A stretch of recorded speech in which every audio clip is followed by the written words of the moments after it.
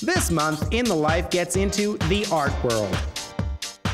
With The Big Girls of Broadway, artwork that fights AIDS. I got my message across, which was a positive being positive. Post Riot Girls making a scene.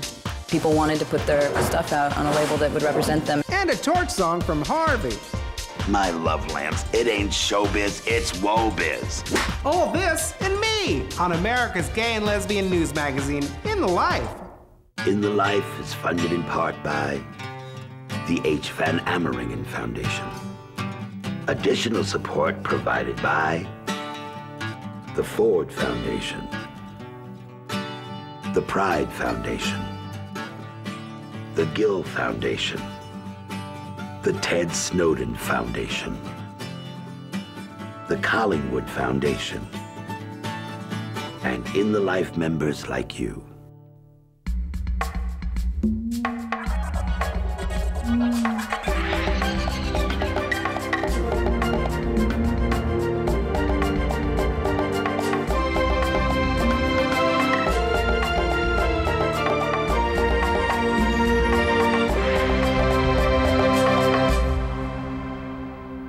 Welcome to In the Life. I'm Frank DeCaro. There are many places in America where gays and lesbians struggle to fit in, but the world of arts and letters wouldn't seem to be one of them. And yet, as many artists working in the business have discovered, queer people are often not recognized or marketable unless we leave our identities out of our art. Over the years, those politics have been challenged by growing communities of actors, painters, sculptors, writers, directors, and musicians. These artists have entered traditional territory and created art that stands for us. Tonight, In the Life rocks the art world. Checking out a lesbian chapter in art history. Once we found a common ground, there was now room for uh, the visual expression of difference. A novel idea in the publishing houses. No one really has been able to do what he's done in the way that he's done it in sort of a mainstream way. And a classic Hollywood story. You know, we just have one little change for the rewrite, and um, we'd like you to make both the sisters straight. But first, the Broadway musical Hairspray, based on John Waters' film and starring in the life's own Harvey Fierstein, brought 1962 Baltimore to 2002 New York. And in the mainstream business of Broadway, the Hairspray team found a way to infuse their musical with progressive politics, and along the way, transform it into a critical and commercial smash.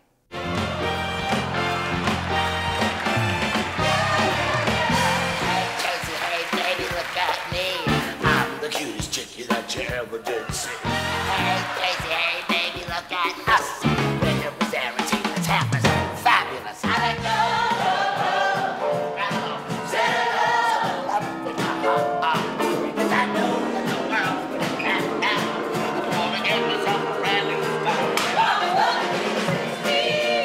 1998, producer Margo Lion was looking for her next Broadway project when she saw John Waters' 1988 film Hairspray, starring newcomer Ricki Lake and Divine. And my diet pill is wearing off. Tracy, I want you to go to your room and study. I'm from Baltimore. I'd seen it in 1988, but I wasn't sophisticated enough at that point to appreciate its uh, many virtues. And in about 20 minutes in, I thought, this is it. This is what I want to do. Once Lion secured the rights to the property, the first call she made was to the film's writer-director, John Waters. I was thrilled, especially when I met the people who were going to do it. I chose the creative team beginning with the choice of Marc Shaiman to compose the score, who is someone I've wanted to work with for many years. When I called him about Hairspray, he said yes. She called me to see who would I like to work with, with on lyrics, and I said, truthfully, I would actually like to write them with Scott.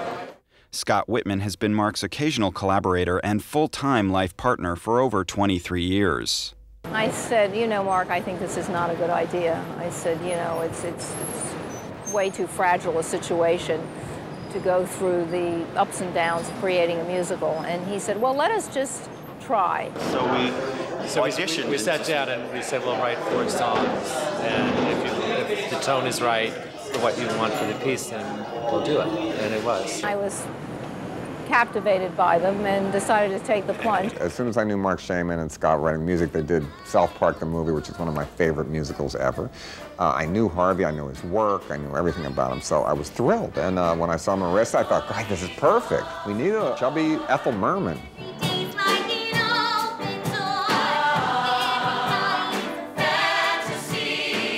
Being young and being a character actress and doing comedy and being chubby and just fun. It's just there aren't very many things for me, and I never would have imagined that this would come. So it's not even like a once in a lifetime thing. It's like once in like five lifetimes, you know. Harvey's playing my mom, but I never even think of it as a man playing my mother. It's just Harvey's my mom. Well, the two of us together have really formed a bond. So on stage, it's like so trusting. Like I don't even think that we're doing scenes. It's just we're just having fun together. This telephone call came that they're doing a mu- musical of Hairspray and they want to see me. And I, I said, and I went in and, and I sang and I sang and I sang. And I mean, I, I think I must have sang six or seven songs for them. By the time I got home, the call had already come through. There's nobody but you we want. Lion hired playwright Mark O'Donnell and Tom Meehan, who had just written the Tony Award winning book for The Producers, another film to stage adaptation. She was also able to lure the pair who helped to adapt The Full Monty for the stage director Jack O'Brien and choreographer Jerry Mitchell. In this case, also, as with Monty, you try to distill what you think the film is about and preserve that no matter what you do. And I think that's what we're working on right now. Hairspray is about a big girl with big hair who wins a spot on her local TV dance show and then fights to integrate the show in 1960s Baltimore. This is a white establishment? Oh, come on. Hey, listen, we just came to dance. That's not fair. It's a story of outsiders who fight for acceptance, a particularly resonant theme for its gay creators. Hairspray is not just about hairspray. Your size, your color, your race, your, you know, your preference, whatever.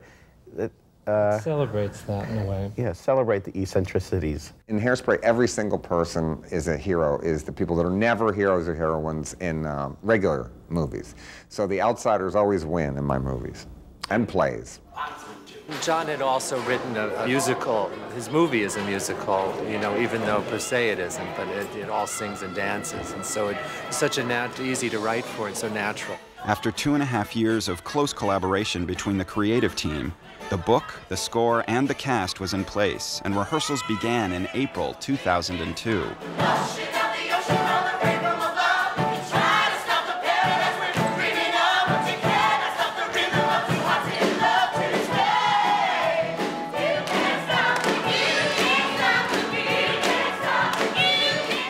Weeks into rehearsal, the entire cast and crew packed up and relocated to Seattle for Hairspray's all important out of town tryout. It all starts when the curtain goes up in Seattle. In spite of all the work that's been done the last four weeks here in New York in rehearsal, in spite of all the pre production work, in the design, in the cutting of the costumes, and the fitting of them, and all of the elements that we've been trying to put together for the last eight or nine months, nothing starts until you get in front of an audience. It's a big circus. You got to put it all together, and uh, it's not a lot of time to get it done. So it's going to be tough, but we'll we'll make it. We always do. Well, Marc's role there will be with the orchestra and the music, and, and then once the performance starts, we'll both be, you know. Just hey, listen to how the audience is reacting. Let and the audience now tell us what's funny and what works and what doesn't.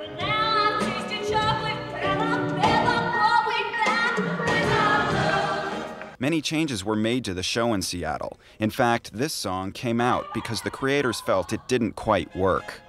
When I was just a little girl, my mother set me straight.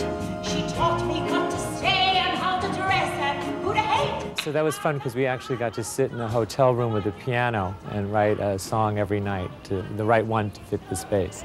The one that we're now previewing here in New York is our third the third version of it. song. We spent every day in Seattle from 12 to 5 writing.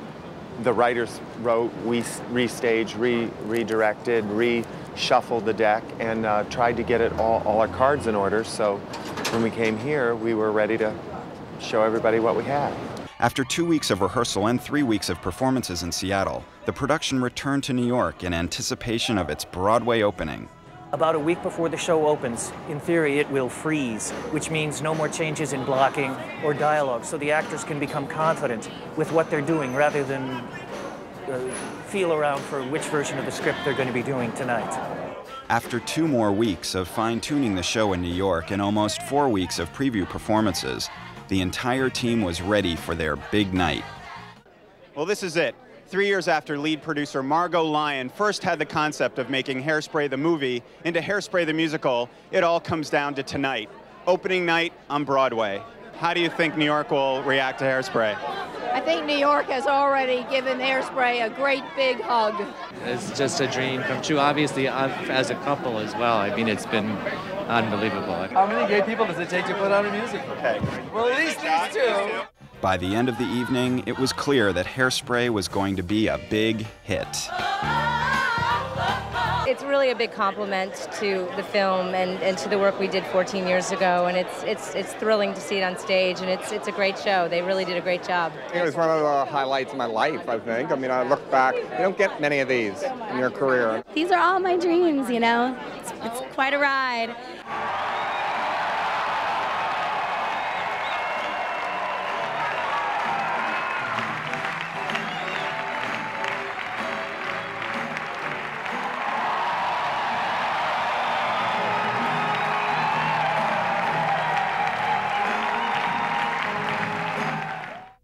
In June 2003, Hairspray won eight Tony Awards, including Best Musical. In the two years since its opening night, the $10.5 million show has grossed over $40 million. Something I remember that kind of influenced me when I was growing up was uh, going to see the Rocky Horror Picture Show. We were in Tacoma, Washington, and besides the fact that it was the only thing open past midnight, the fact that it has this sort of freewheeling, anything goes sexuality about it, I remember that being pretty eye-opening and revolutionary. I don't know, when they start on those big lips and it's singing and it just sort of represented all free freedom to me and that you can do anything you want and be anybody you want and, and there's not a judgment attached to that. There's no judgment in that movie and I, I think that influenced uh, the way I feel about being gay now. I'm Bill Brochtrup and you're watching America's Gay and Lesbian News Magazine, In the Life. Hairspray injects a gay sensibility into the old-fashioned Broadway musical. And by returning to his own traditional roots, the Pueblo Indian artist Kevin Cata found a voice to tell his story, the story of a gay man living with AIDS.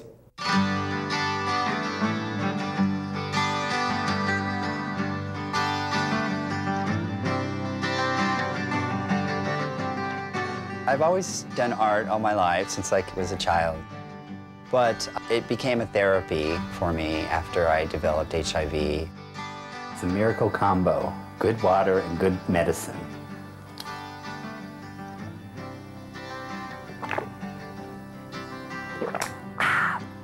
My mother, she's Irish. My father is from the Tewa branch of the Pueblos. Kevin is Irish and Cata is Native American. But, you know, everybody in San Francisco has a fake name. So I'd like to be known as Mushka. When I first came out, I caught just the barely tail end of that wild, rampant sex 70s going into the 80s kind of thing. Deep down, I probably feel that's probably when I contracted HIV. I just didn't get symptomatic until 1994. When I got sick, I developed cancer, and I got spots all over my body. After that, I was laid up in bed for five months having injections and just trying to get rid of this awful staph infection. It was in my brain, in my heart. I've been close to death four times where I've really, you know, I'm, my T cells have gotten down to as low as four.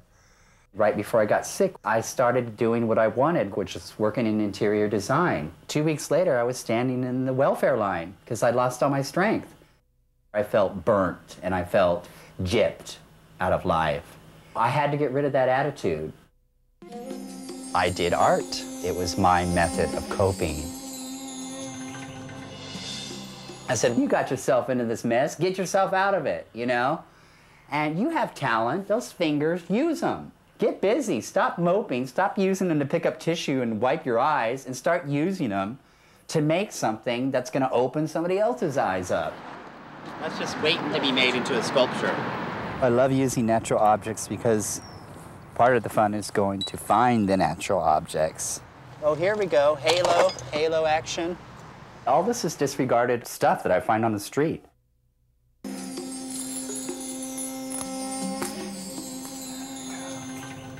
Kachinas to me are representing different spiritual aspects of my emotions that come out. Kachina dolls are Native American spirit deities. I just kind of wanted to use some traditional ideals with some modern.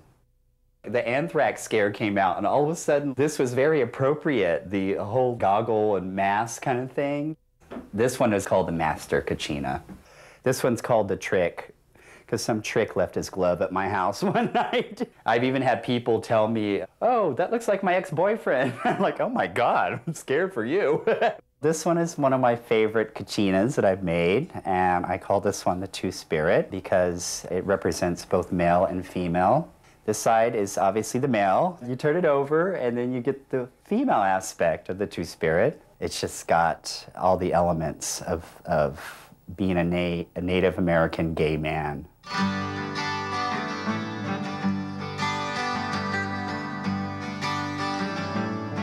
When I was young, like throughout my life, I would take trips and go visit my grandmother, who lives in a beautiful adobe house in San Juan Pueblo on the Rio Grande River. My grandmother's now 95. All my relatives from my father's side live there. Kevin comes from a family, uh, long line of, of family uh, members who have done uh, some uh, artwork. Even though he grew up in, in the city and uh, in California, he always appreciated his Indian ancestry. My grandmother influenced me as far as my native culture goes. She's a very well-known potter. I love the traditional Pueblo designs, a lot of them that they use for their pottery. I like to incorporate that in my art, I like to kind of use a little bit of modern culture and a little bit of, you know, the old.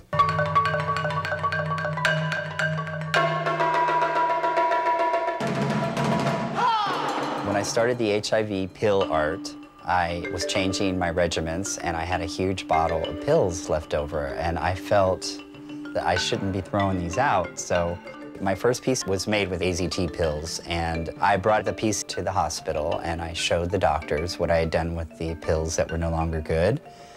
And I got such great feedback from everybody that I thought, well, maybe this is something.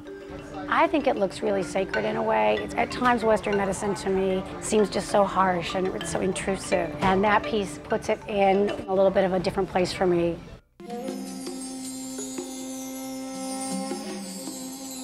I brought all those pieces to the Gay Games in Amsterdam in 1998. It was the most amazing show. People came and they cried and they laughed. And I actually sold a bunch of things.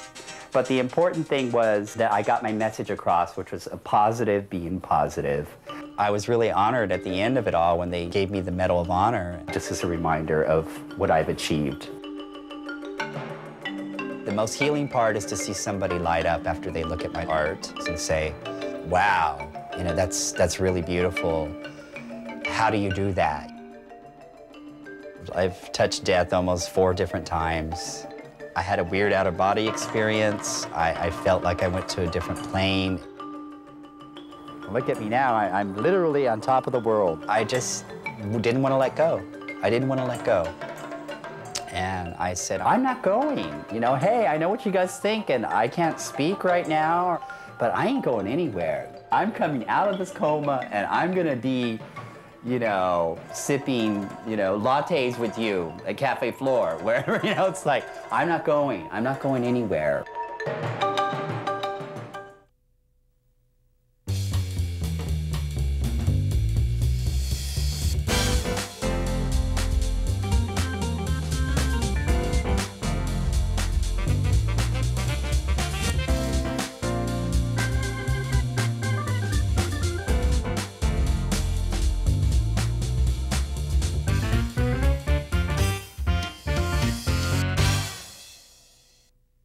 I'm Rachel True, and you're watching In the Life. For centuries, the visual arts have given the paintbrushes to men and mostly excluded women artists, not to mention lesbians, from the hegemony of a traditional canon.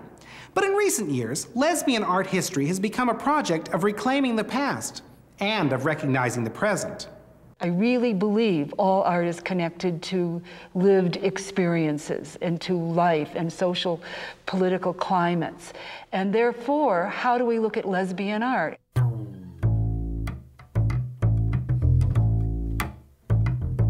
I think in some of the uh, older artists, and these are broad generalizations I'm making, a lot of their work was more about hiding or about guilt. You know, so you look to somebody like Fran Winant, for instance, uh, whose early work are portraits of her dog Cindy. Okay, not her girlfriend. And the background behind Cindy, her dog, is all this kind of almost like a hieroglyphic language. Well, it turns out that is a secret code that Fran developed early on as a young girl, writing secret poems to women when she was on the school bus.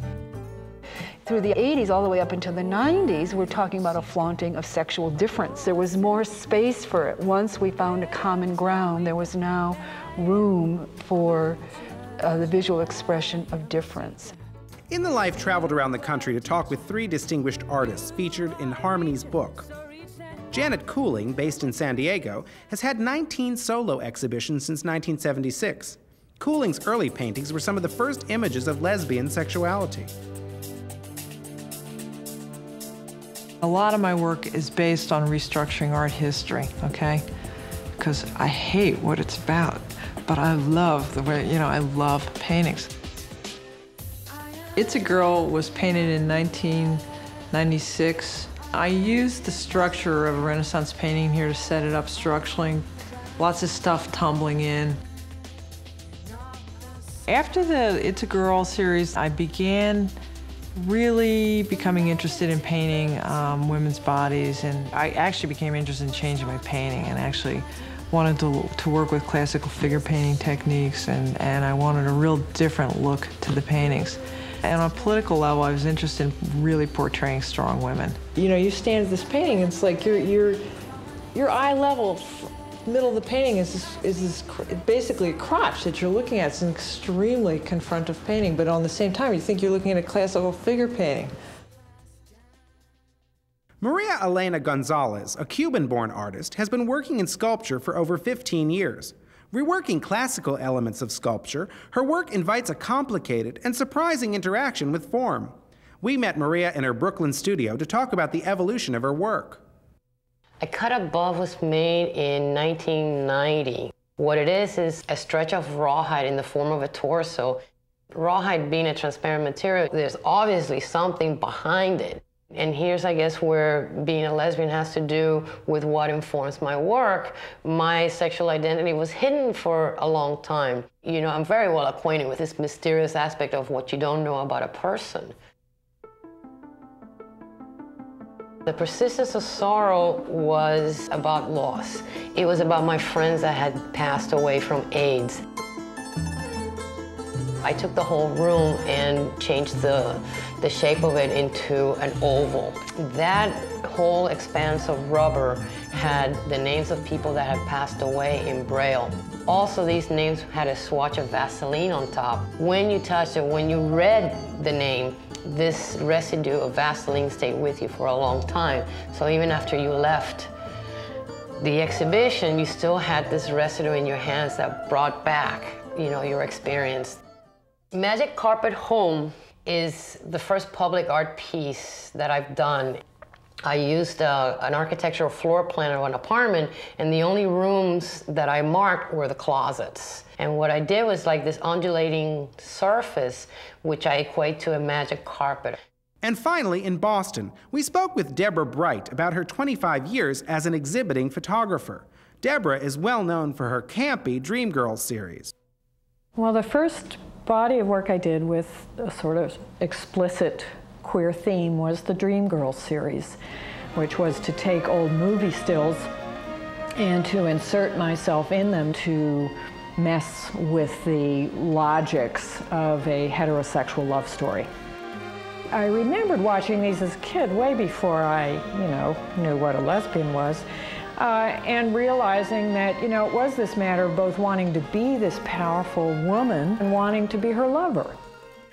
The Being and Writing series, like with the Dream Girls, which was also an excavation of childhood, this was just another phase, okay? Before we can name our desire, what are those signposts along the way that we forget at puberty, you know, when we're conscripted into this very narrow heterosexual drama. So I want to get back to these more anarchic phases. When I have shown the work publicly, uh, lots of women have come in the space and burst into guffaws. It's like, you know, this huge relief. Harmony Hammond herself has been an out lesbian artist and lecturer since the early 70s. Much of her work incorporates found objects. I feel my work was most consciously lesbian, um, probably not until the late 70s. When I was working with uh, found fabric and rags, I started wrapping these huge forms that were abstract body forms. And then I just wrapped fabric from the inside out, building it out of itself. And so, in a very metaphoric way, it was about um, creating my own life, moving from the center out. Most of the artists in this book, while there is a kind of pride and a stance in being who we are, no woman, none no artist in this book wants to be limited by a definition of lesbian art. Any label is, is contingent and strategic, okay? So in the 70s, uh, when these desires were just being identified and named, of course, you know, people called themselves lesbians that, you know, had a different kind of strategic, um, confrontational, oppositional quality to it that it no longer does in this, you know, 1990s, uh, early 21st century environment. I still want to see all of us go to the center of the mainstream, and I've always felt that way about it. I want to see this work in the context of painting, period.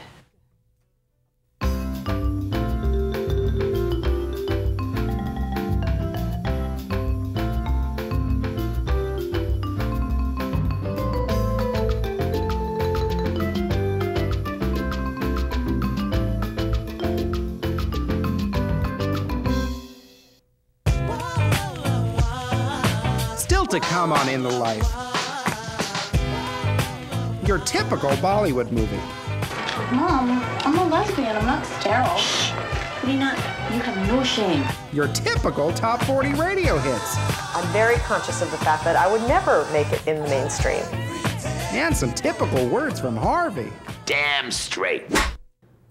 The second half of tonight's show turns to the political and economic ground that gays and lesbians break by creating art on our own terms, no matter how difficult starting up might be. Nisha Ganatra set out to make a film that almost got made into a different movie. And Elin Harris started selling books out of the trunk of his car and accidentally revolutionized the publishing industry. Could you take our picture? I had spent about 12 years in the computer field, working for companies like IBM, Hewlett Packard, and AT&T.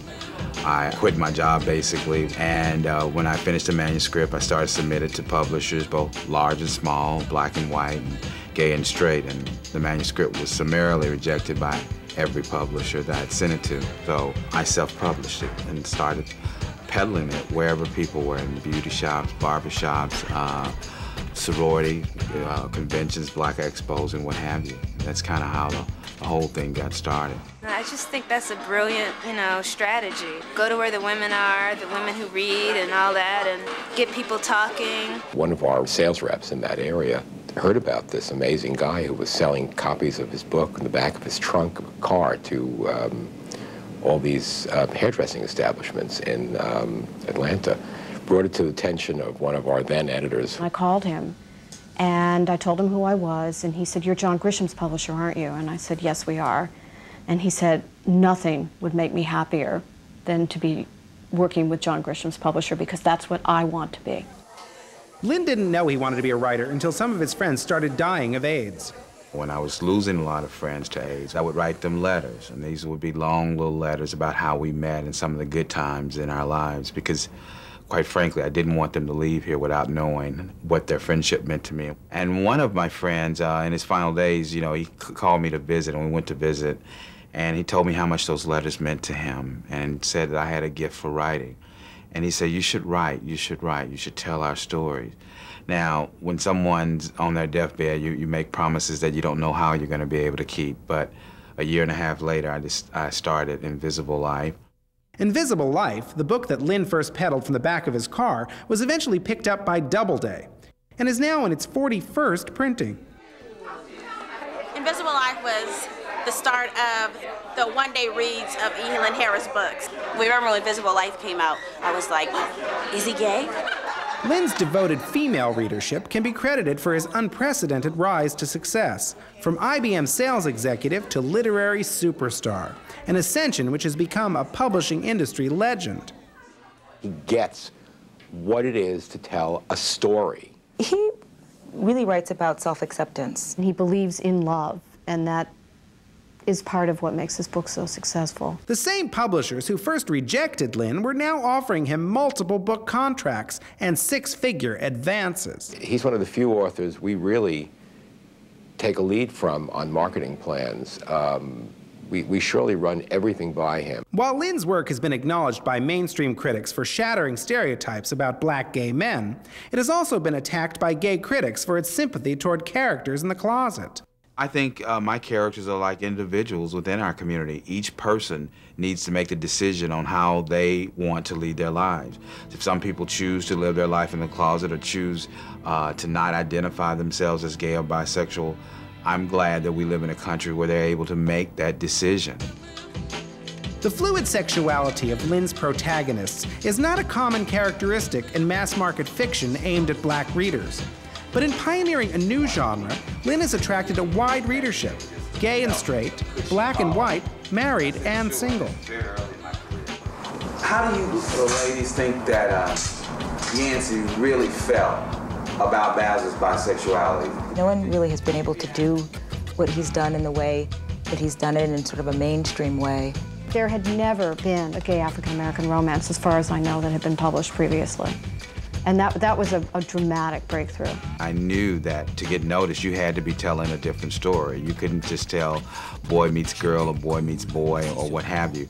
You had to have a story that was going to intrigue people of all different backgrounds. And the characters that I created uh, identify themselves as bisexual. Some of them didn't identify themselves as bisexual at all, even though they were having sex with men.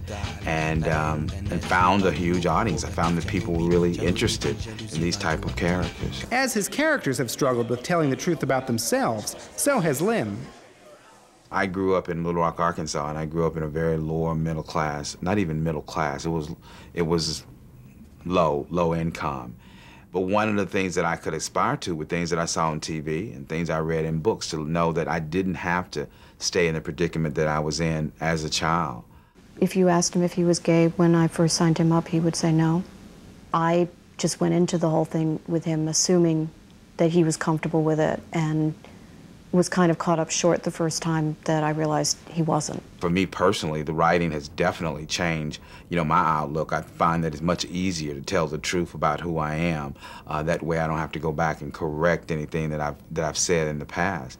And I think it's also been helpful in allowing other young African Americans or Hispanics or anybody who's, who's dealing with sexual issues to see that it's okay to say what's so and to tell the truth. In 2003, Lynn published his memoirs, What Becomes of the Brokenhearted. The reason why we were interested in his autobiography is because he has an incredibly powerful story to tell, starting when he was a child in Arkansas and going on, I think, probably right up to the point where he publishes the first book. The reception of his memoir, I think, will be um, crucial as to how he decides to continue and whether he does any nonfiction. It's always been my ambition to branch out, to not just be known as a black gay writer, but as a writer. And I know to do that, I was going to have to attack different genres and, and write different stories. All nine of Lynn's books have become bestsellers. I think Bent opened the door to, to the awareness of, of um, gay persecution in, in Germany, because really, until then, it wasn't known and it, it, it wasn't admitted. Germany, before Hitler, was a mecca for gay life. And um, it was wiped out in a second. It was wiped out in a second. So there is a lesson about taking freedom for granted. The other lesson is that they could wipe it out very easily because while all this freedom was going on, there was a law on the book that outlawed homosexuality. It was a dormant law. No one paid any attention to it. But the Nazis simply reactivated it. So it also means that one must really, really be very careful about what laws are on the book.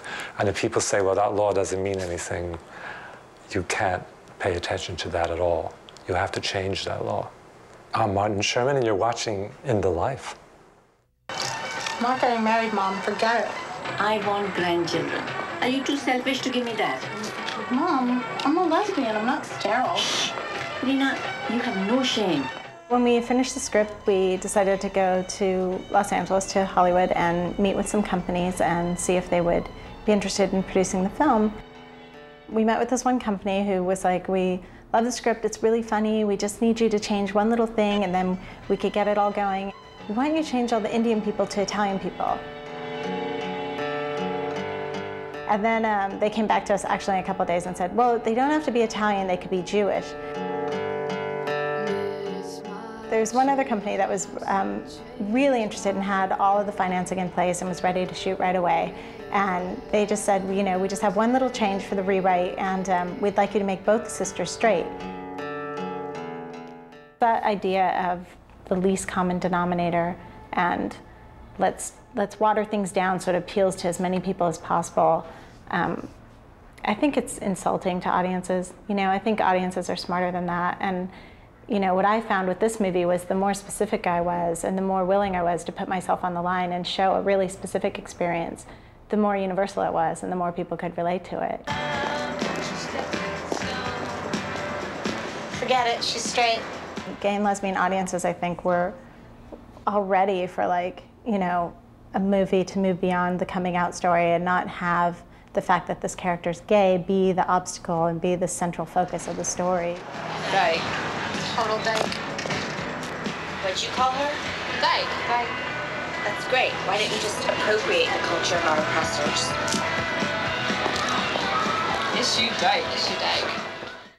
You know, this family happens to be Indian, you know, and, and that's not the obstacle or the main point of the film. And this one character happens to be gay, and that's not the obstacle. Like, no one has a problem with that. The problem is her sister can't have a baby, and she's going to have the baby for her sister, and everybody has a problem with that. Do I have to touch it? Mina and Lisa are exactly healthcare professionals. Christ, forget it. you call Reena and you tell her to stop this nonsense. You know, everybody walks out of Chutney Popcorn and says, that mom was just like my mom, you know? Because it's not about being Indian or being lesbian or being of color or being oppressed. It's, you know, all of us have a mom that's a pain in the ass sometimes. and all of us have, you know, the feeling of, of wanting approval. The idea of people only want to see things exactly like themselves. Uh, that sort of idea and that sort of thinking in Hollywood, I hope it's not true. And I hope we can prove that it isn't by having films that show something different be successful.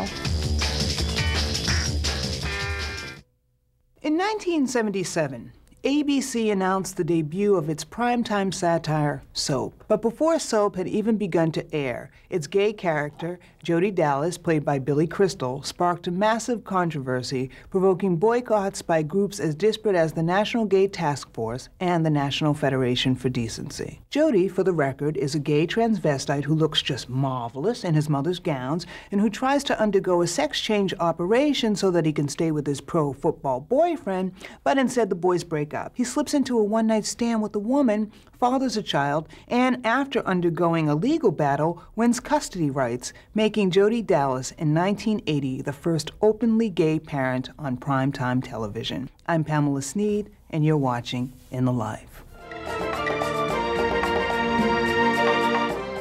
When women's music sprang up in the 70s, lesbians grabbed the mics and took to the stage with a decidedly feminist perspective.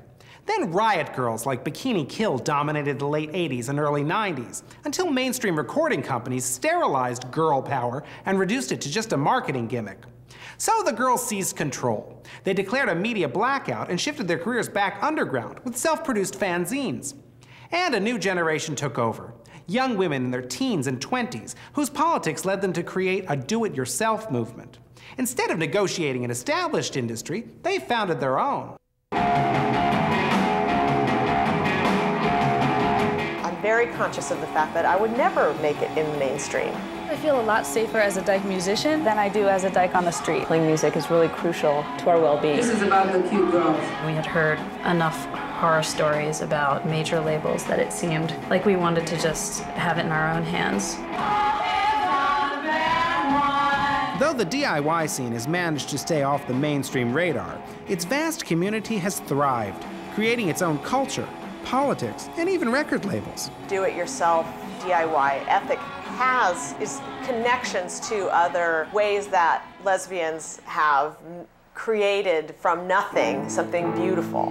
So whether that's creating a community, building a house, founding a record label. Mr. Lady Records and Videos is a company that my girlfriend Tammy Rae Carland and I started in 1997. The name of our label is called Clever Shark Records. Chainsaw started in 87 as a fanzine and it became a record label in like 1991 because there's a lack of other record labels that have any kind of political viewpoints at all, feminist, queer specifically, like that there really was a need for that. People wanted to put their stuff out on a label that would represent them and would let them also have control. We're on the label with a lot of other um, feminist lesbian bands, and that's really important to us. Neither of us really had any kind of business background. So when we decided to put out a CD, we didn't really know how we were going to do it. What I do for bands is I manufacture their CDs for them and get them into the stores and do some advertising, but mostly try to get magazines to write about them or get radio stations to play them. I'm still learning as I go, even though I've been doing this for like 10 years. I put out my records with Chainsaw because it's so important to support a gay label. We believe in the same politics and we're family. Not everywhere is safe for queers. You have to keep coming out to the rest of the world over and over again. Just that there's like so many people out there that are really surprised to see like a queer person up there or like somebody who looks like me, like is androgynous or something on stage and performing and feeling good. Maybe I'm intractable. I think that if I if I did anything in any way to hide that or to not let it come across in my music, I'd just be the biggest liar. I don't think that I would be a performer if I wasn't like somehow performing my queerness. Sometimes it's scary being out, um, especially when we play, you know, Catholic universities and when we play in the middle of, you know, the deep south. Sometimes that can be a little bit, oh, you know, maybe we should just play this off in some other way. Being an out lesbian in the music world means that you are subtly discriminated against at every point. I'm very conscious of the fact that I would never make it in the mainstream. I'm surrounded by hostility. Everyone and their mother is pointing fingers at me. I do notice that there aren't a lot of, you know, women of color. So sometimes I wonder if I'm the one who's, you know, just weird for like following my passion and doing this and where are all the other people like that, you know? In certain towns there seems to be a, a, greater diversity in the in the scene and that makes me really happy you know i'm always like thanks so much for coming to the show you know and i hope that that that will kind of foster more people getting involved While the DIY women are always in touch through fanzines and the internet, they also work hard to come together at music festivals, like Ladyfest. The first Ladyfest was in Olympia, Washington in August of 2000. There's never been a better time to be a dyke than the year 2000. The philosophy behind Ladyfest as a whole is to support the political, creative, and organizational efforts of women and their supporters. The Ladyfest in Olympia raised $30,000 for um, Safe Place, which is the, the women's shelter there. Ladyfest was the idea of a bunch of people who came together in Olympia one weekend um, because the Experience Music Project was doing a Riot Girl retrospective. You talked about the idea of putting on a women's music, art, mm, political festival. Part of what came of that discussion was that, you know, here it is 10 years later and we're all still making music. So um, why is it that there's no place for this to happen? One thing that we wanted to do with the first Ladyfest was make sure that other people could emulate what we were doing in their own communities. I initiated the New York City area Ladyfest um, for 2001. We were the only one to do it twice. It was pretty much all volunteer, and we were doing, you know, 50 hours a week of listening to submissions or advertising, publicizing. So I definitely think overall Ladyfest is getting stronger and more of like a movement rather than just a festival that happens. I've been lucky enough to go to a bunch of different Ladyfests all over the place. It's been really exciting. The live context is is so unique in its spontaneity. Whatever happens at a live show is only happening in that moment and will never happen again. And that is because of the dynamic between the band and the audience.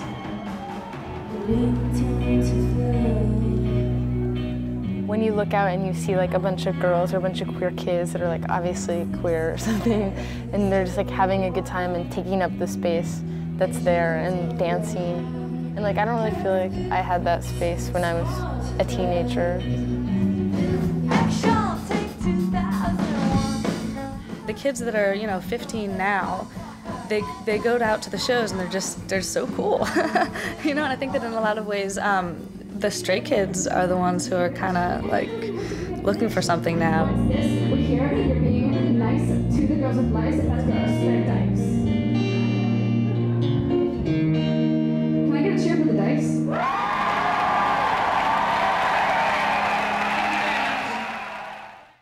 And finally, in outtakes, a doubting Harvey. There's some funny stuff in there. I'm getting into it. That's a long way back. Why does everybody want to be in showbiz? Could you please help my daughter get a break? I did a lot of acting in college. They said I was great. If I could just get seen by the right people, I know I could make it. Cookies. Why would you want to mess up your or a loved one's life with a career in the theater? Listen to me. I know a lot of actors, and for the most part, they are unemployed, frustrated, and delusional. And those are the pretty successful ones. The really successful ones are usually just depressed, isolated, frightened that their careers are already over. Sounds glamorous, huh? Acting hopefuls spend years in classes studying roles they will never get to play. They spend more years preparing for auditions they will never book. They face daily rejection from agents and directors and casting personnel and even other actors. How many actors does it take to play Hamlet? Eight. One to do it, seven to say they could have done it better. A career in acting involves one of the most famous catch-22s there is. To get a role, you need to audition. To get the audition, you need to have an agent. To get an agent, they need to see you act. To act, you need to get a role. To get a role, you need to get an audition. To get the audition, you. Why would you want to be any part of that? And if you do buck the billion to none odds of getting a job, you then face another billion to none chance that that job will lead to anything else. And if it does happen, and you do become a star, do you know what you get? Loss of privacy, loss of identity, constant pressure to please an endless sea of fans who care nothing about your happiness and, in fact, would pay good money to buy a magazine featuring the true story of your downfall on sex, drugs, and excess poundage. And then there's the matter of coming out. Do I come out before I'm a star and risk never having a career? Do I come out as soon as I'm a star and risk losing the career I worked so hard to get? Do I come out now that my show is about to be canceled? Do I come out now that the Inquirer is about to print photos of me on my knees in a public restroom? Do I come out now that I'm 85 years old and no one cares what I do in a public restroom? My love lambs, it ain't showbiz, it's woe-biz. Now I know most of you are looking at me and saying to yourselves, he's just trying to discourage me because he can't take the competition. To you I say, damn straight. You have any idea how many actors there are for every role? Hundreds, hundreds and hundreds. Out there in the world of actor, model, personal trainer, waiter, masseuses, there is always someone younger, fresher, and cheaper to hire. Consider Meryl Streep, greatest actress of our generation. Meryl Streep makes maybe one movie every other year. That's all. Most days and months, Meryl Streep, my hero, can't get a frickin' job worth leaving the house for. So, poopsies, no matter how fabulous you were as Anita in your high school production of West Side Story, you ain't no Meryl Streep. So think about how much work you're gonna get. And money, Recently, I've been able to make a very nice living in the theater. But think about this. My last Broadway show was 16 years ago. That's a long time between paychecks. And I'm a big star who can't get laid. Wait, forget I said that. That's another whole part of celebrity. Although I pick up a movie or TV show now and then, the truth is that I could not support myself on acting alone. Were it not for my writing, I'd be better off taking inventory in a nice little lesbian bookstore in Vermont. No, my little star hopefuls, life upon the wicked stage ain't never what a girl supposes. Do you know what kind of a schedule a Broadway performer keeps? We work six days, performing eight shows a week. That means two days a week, there are two shows a day. One or two other days a week, you'll be called for rehearsals. There are no holidays. In fact, when the rest of the world is off, you will be on, guaranteed. When your friends are going out, you will be going in. When they're enjoying birthdays, you'll be performing. And when you finally are done at night and you want dinner, your friends will all be in bed asleep. You get one week off every six months. Show up late for work, and you're turned away and you lose a day's pay. All of your friends are going to a concert, all my friends are going to see you. Your mom's sick, the show goes on. You don't feel well, tough, get dressed. Strained your back, take a pill. Got a cold, blow your nose. Your families will forget you. Your friends will make other plans. The rest of the world has lives, but you have a career. And you can say goodbye to fresh air and sunlight. We vampires of the stage rarely see anything but the darkness of the wings and the lights of Broadway. And have you ever seen a real Broadway dressing room? There are laws that keep murderers' prison cells in better shape. Dusty, dirty, dark, moldy. Most Broadway theaters have been around before women had the right to vote, and the toilets are there to prove it. Ah, but the fame and glory, right? You can work on a show for a year, put your whole heart and soul into workshops, rehearsals, out of town tryouts, more rehearsals, previews, and finally you arrive on opening night when, with one stroke of a merciless pen, a critic will grind your dreams into muck. No respite, no payback, you're out of work again. And if you think that people will at least pity you, remember that which an unnamed bard once said. Theater is the only business where not only must you succeed, all of your friends must fail. So, Starmites, you still want to go into showbiz? Yeah, I know. All the sense in the world don't mean nothing when your heart's taking the toll. So to you I say, break a leg. And just in case, keep the number of a nice lesbian bookstore in your pocket. I'm Frank DeCaro. For all of us at In the Life, here at Rootstein Display Mannequins in New York, thank you for watching, and we'll see you next month.